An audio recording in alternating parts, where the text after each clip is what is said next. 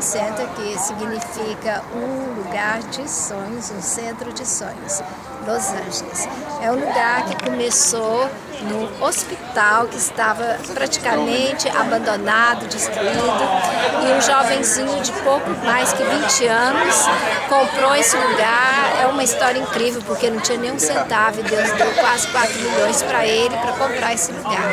E hoje está fazendo uma grande diferença, não só em Los Angeles, mas em todos os Estados Unidos, afetando todo o país é, com recuperações de todos os tipos de pessoas, com todos os tipos de problemas. E maravilhoso, é algo assim impressionante. Dream Center Los Angeles. Vamos ouvir o testemunho de algumas meninas uh, de 20 anos que começaram a tomar heroína quando eram 15 anos em Las Vegas. Depois heroína com metafentamina e, e realmente em drogas absolutas. Acabamos de ouvir testemunho de umas meninas que é, foram traficadas por, é, no, no tráfico de sexo e as vidas transformadas. Aqui dentro tem escolas, elas sonharam outra vez, elas perderam todo o valor como pessoa mas aqui elas foram restauradas e uma história muito linda. Meninas com crianças de 5 anos de idade e as lágrimas descendo dos nossos olhos de ver o que Deus está fazendo nas vidas delas.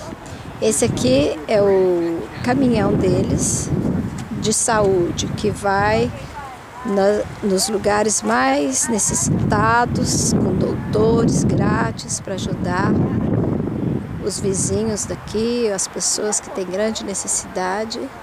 E ali estão os caminhões de comida, todos os dias alimentando milhares e milhares de pessoas, tudo grátis.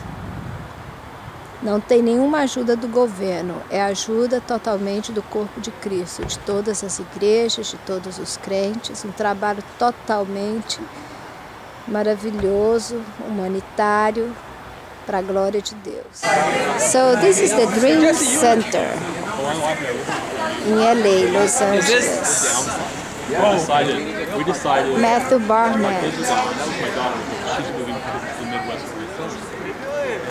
Making a big difference in the world. tua força e tua glória, porque a tua graça é melhor do que a vida.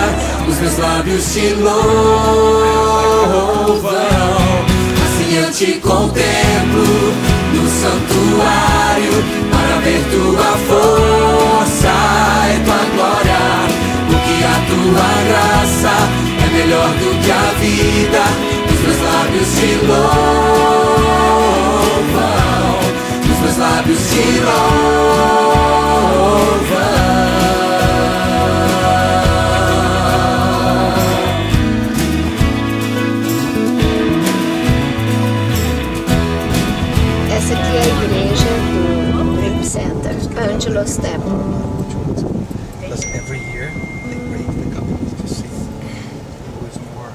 Originalmente essa igreja era de Amy McPherson. So for them to do that advertisement right there.